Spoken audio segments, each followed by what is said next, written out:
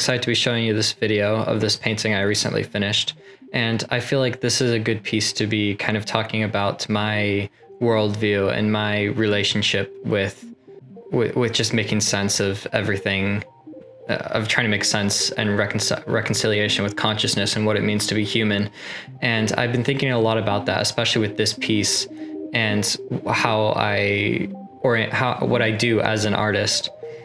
Um, and so I'm going to be talking largely about my own personal subjective experiences for the most part, but it's because I'm talking about that. I I, I think that is is is the important part. It, that's what we as as humans have the most direct con- contact with the divine. I think a, a lot of people and it, it's it's interesting if I could use like different orders, different monastic orders within the the Catholic Church.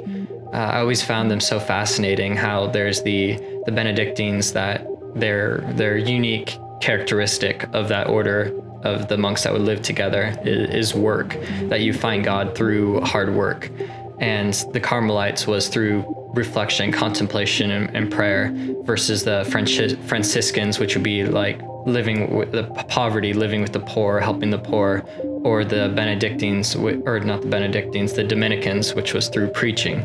And so there's all these different axioms of of, of uh, unique manifestations of the divine that individual people can uh, be gravitated toward or have a specific calling to it. But I think for me and, and what I see as being able to benefit the whole of humanity is seeking the divine within the individual because the individual like my experience as as me as sam that gives me the most direct contact with the divine. It allows me to you know I, I can't i can't understand the inner mechanisms of myself but i can at a deeper level than i can of other people. I think because we are all connected together at some deep level I think our consciousness is all intertwined together and we're all unique expressions of a common source or supreme good.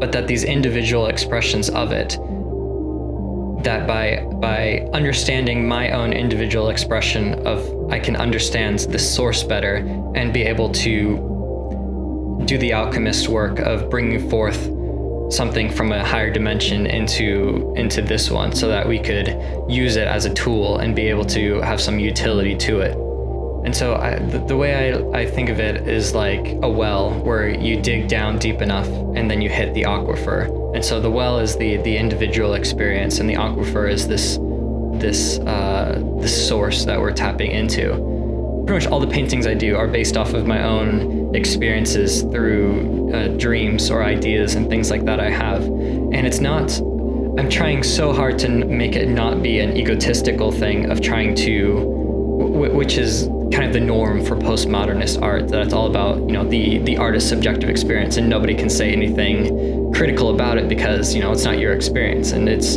I think that's a very, I think one of the worst things that somebody can do is to turn something that's sacred into something mundane. And I think that's exactly what's going on there. But it's such a fine line between trying to understand yourself to connect back to the source. And so you're playing the role as the conduit. The earliest people who looked up at the stars and conceptualized the, the decans or the, the great zodiac gods and knew that they were of a different ontology, they were of a different structure than human, than space time and so they had to create some sort of intermediary between them. So if you look at some of these early examples on the on the record of of human civilization with these early religions, they would build statues and perform very specific rituals and ceremonies with the goal of encapsulating some of the divinity within these decans into the statues. And so then they could then perform additional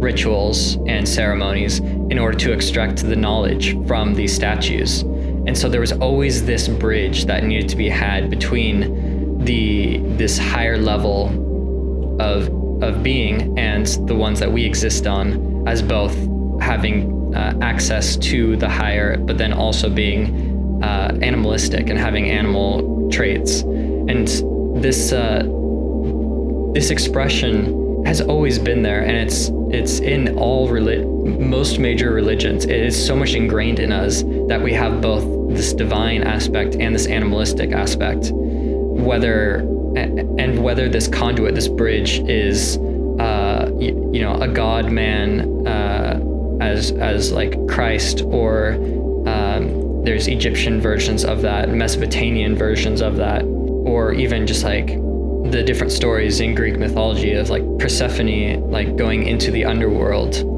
or the, these these different uh, journeys that would take place between both the mundane and the the divine environment, the the godly environment. I see what I'm wanting to do to be a microcosmic expression of this this human endeavor to try to access the higher dimension, whether we call it God, the Decans, the Muses. There's it goes by many different names, but it's existed throughout all of human history, and most likely way longer than we have any actual record of. And I think the the equivalent of this this statue acting as a bridge within my own my own microcosmic expression of this would be the painting. I think that's a good example because there's two aspects to a painting. One is the technical aspect of it, which is extremely important because we we as as as physical mammals, as human beings, we have ingrained with us the, the way we view the world is that of uh, of something that is part of it. Perspective outlines uh, of between different objects and proportions. These are all the the imagistic tools that we use to navigate around the world, and it's in a way it's converting this higher uh, this this higher conception into something that can be comprehended by the the human aspect, the the, the animalistic aspect of humans, the materialistic, and I think that is absolutely crucial. And then but then there's also that other aspect of it which is being open and being in tune to let something that you don't fully understand you don't fully or you're not able to fully conceptualize to be carried within you not thought of it, it doesn't originate with you but that you are acting as as the symbolic mercury as as the messenger who is carrying these these ideas from one dimension to the other. And because you're the messenger, you are not the the source of the divine knowledge. There is aspects that can be trapped if if you are properly in alignment with these higher orders that you can capture and have within the painting that is both foreign to you as it is to other people.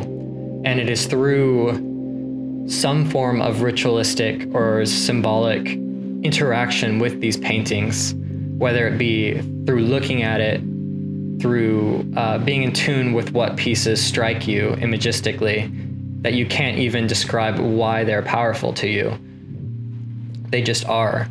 That we can then start thinking about them, and these ideas can can can live in our minds. And as we interact with the world, these ideas can change and manifest and unfold and give us insight into different possibilities into the into the future. Visual arts, painting is not the only way this can be done. I think there's been lots of people in the past, musicians, artists, authors who have been able to tap into this. But this is this is my particular orientation is to try to take these ideas that I, I have ideas and dreams they're, they're imagistic in nature and so i see converting dreams and ideas and visions into images as being the the closest the closest relationship from these higher order ethereal non-tangible rainbow road-esque type things into something that's tangible and that would be through the, the light waves that the human eyes can detect. If I acknowledge that my specific orientation is to dig deep within my own consciousness to try to bring bring things out from that. I, I think it's very very much the, the most modern example of how this takes place is to think of I don't know what you would call it. I never really played video games that much, but like a a sandbox type game or where there's a world and you can kind of choose uh, I, I, don't know. I, I think I heard someone talk about this that it was like kind of a World of Warcraft type thing, but you could choose your your category or your your your tribe, and so you could be a warlock or a wizard. I'm I'm butchering this completely, um, but I hope the analogy stays valid. But you could be like a warlock or a wizard or a warrior or a druid or an archer, and choosing each of these fields unlocks itself uh, a unique strategy that's unique to that specific expression within the game. And there are certain things that would be a very poor decision from one one one type of character versus the other. And so I would assume that as an archer, you would not want to be on the front lines fighting tanks and, and really heavy hitters because your stats are probably not going to be high in health, but your advantage is going to be able to attack people from a distance. And and vice versa.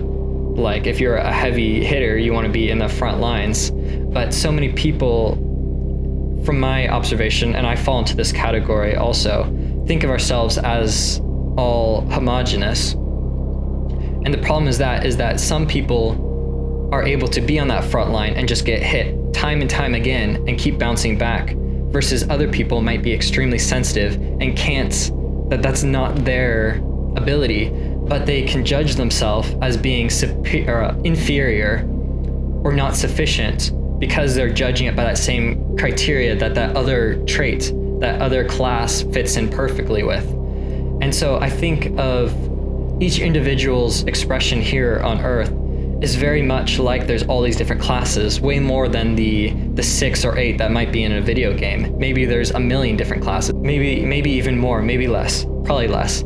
But there's all these different classes of expression. But the thing is, we don't know, and we didn't pick which class we are, and so there's a big question mark over what our class is.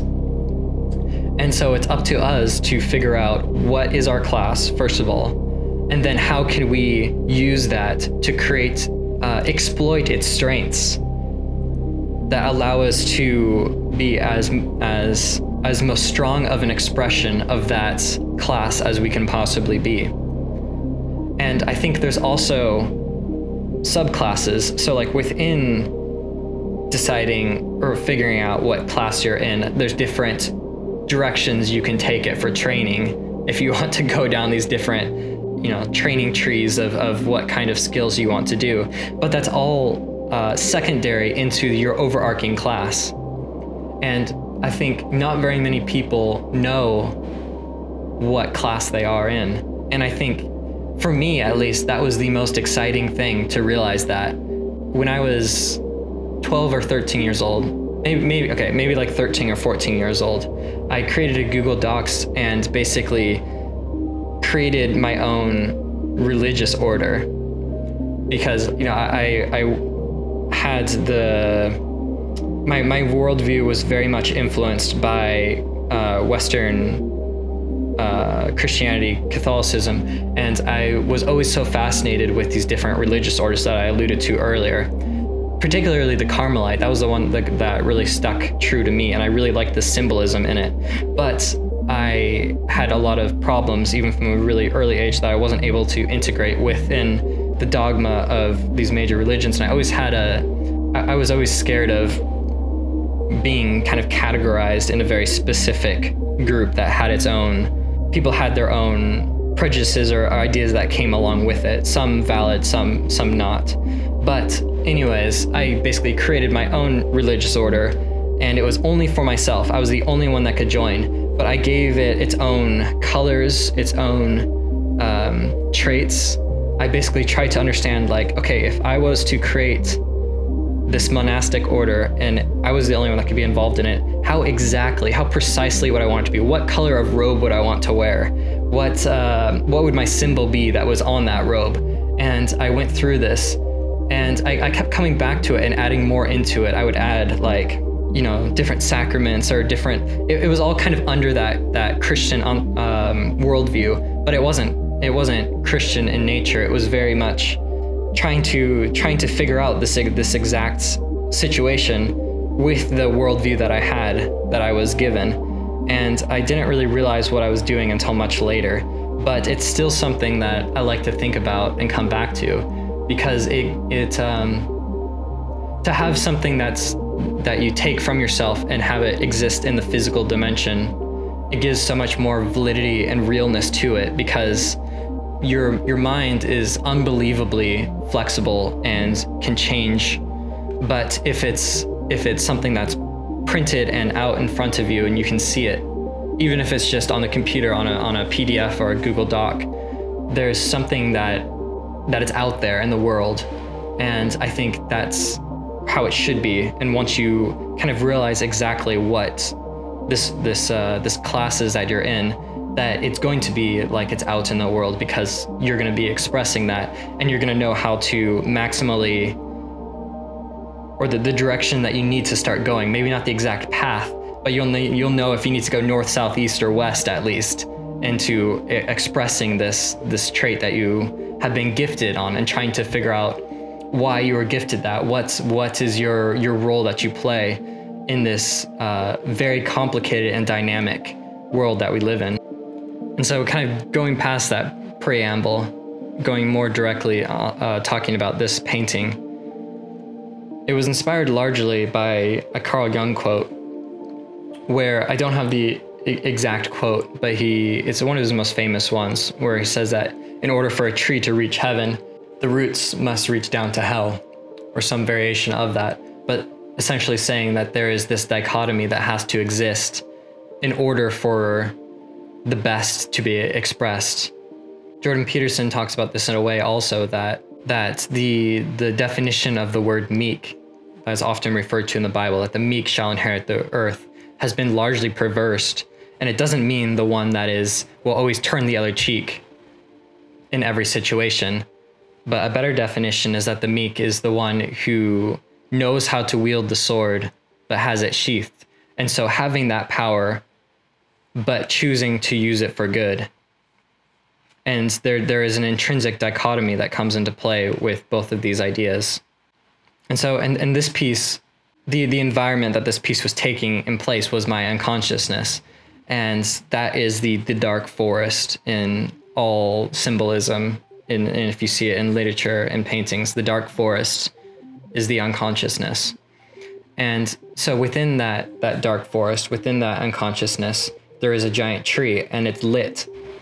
And so this is reminiscent of Carl Jung when he said that the unconscious is not just evil by nature. People think of this as just being your your impulses and your your dark desires, but it's not evil by nature. It's also the source of the highest good. The highest good you can you can realize is also in your un- unconscious, right next to the to this this evil. And so this is something you have to you have to navigate through. And so this giant lit tree, for me, was very symbolic. I think of of this this good that can be in the middle of this dark forest. There's this tree that is is light and strong and stable, and but it's deep in this dark forest. And then within that tree, there is another darkness of the hole that resides in this tree. And then in that darkness, there's the the little old hermit who's who's sitting there in reflection. And so I'm still curious. I feel like there's so much more into this that I don't, I'm not consciously aware of yet. But it seems very much like cycles or, or cylinders going into the unconscious, that it goes from dark light, dark light. And I think that's that's a, a really interesting an interesting way of, of navigating that. I'd be curious if any of the the people watching this are very informed with ideas from like Carl Jung or Joseph Campbell or it, just any sort of philosophical bent. It doesn't have to be purely Jungian. of what your thoughts are about this piece and if there's anything that like really resonates with you that I hadn't I haven't even thought about or talked about because I think what's so interesting is because I think that I can tap into something that that everyone is sharing that the, source that I can tap into is the same source that's being expressed through you just through a reduction um, a, a yang way of its its that specific expression of it I think there can be things that resonate with me or even don't resonate with me, but I can capture from that source. And then by putting it out into the world, other people might be able to resonate with it with both similar ways as me, but then also with their unique expression. So like someone who's a like I'm definitely not a uh, a tank in this in this uh, analogy. I'm not a um, I don't know what you would call it like a like a paladin or I don't know, a warrior or something like that on the front lines. That is, I don't think that that is me. I think I'm definitely much more someone that plays a supporting role on the sidelines or, or something or something like that. I'm not sure. I'm still trying to figure it out. It'd be interesting. I'd be curious what like have you ever thought of yourself, your your expression of of what you're called to do, your consciousness of what it would be in video game terms. I think that'd be kind of an interesting uh, an interesting uh, thought experiment. But, anyways, I think if people have these different expressions, they can interact with this this painting in different ways. I guess I guess a, a, a maybe a more grounded example that would be like the enneagrams, which has been extremely popular as just different ways of categorizing personalities. And I think I think in a way it's kind of like that, but it's it's kind of I don't know. It's, it's just my own way. It's what resonates with me a bit more than something like that. Um, maybe just because there's more kind of images. It's more imagistic to think of it in video game terms than than the numbers in my you know in my opinion. But uh, but that's just my own expression. And, and some people who are maybe maybe maybe even like think in numbers, like you're able to to think of things in very abstract, non-imagistic ways. Like I that that is so fascinating, and I think there's so many interesting expressions of that source in all these different people, and that we all have to work together, and we all have to figure out how we can integrate that, and and find some sort of a way of, of bringing out you know different different ideas from this this this source so that we can interact with it and get better and get better ideas and insights that we then in turn can use to access this even more.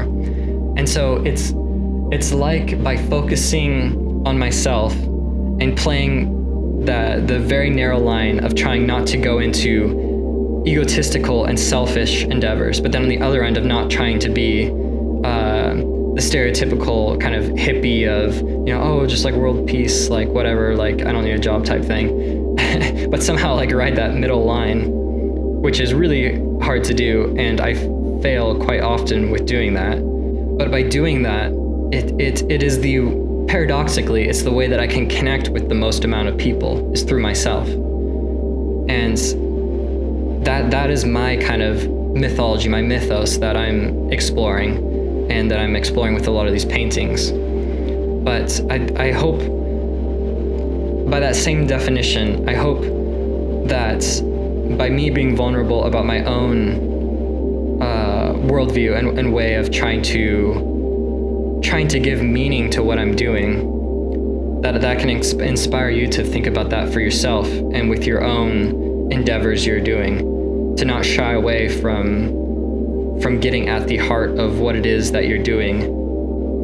And so, exactly that same way that by digging deep into myself, I can tap, I, I, I my my faith is that by digging deep into myself, I can tap in and help other people. That by being in a, in a kind of exposing my own worldview, I can inspire you guys to explore your own. And I think that's that's would be the the highest articulation of what it is I'm trying to do. Is I'm not focused. I'm not focused on on just expressing whatever the subjective blah, blah, blah, blah, like emotion and stuff like that that you'd see in like postmodernists that nobody connect, can, can connect to. I'm trying to figure out what it means to be human and what it means to be a mammal and to be an animal, but then also figure out what does that mean to have some sort of divinity within each individual person. And so to balance that and i think so so i think my worldview is always trying to figure out a balance between the mundane and the spirituality the the, the divine but then also the balance between the individual and the collective and so that's my jungian quaternities of, of opposites would be that anyways at the very least i hope that was just food for thought so that was something that I've been thinking about quite a lot, but haven't been able to fully articulate until now. And so I, I hope I hope you're able to gain something from this, even if it was just to watch the time lapse.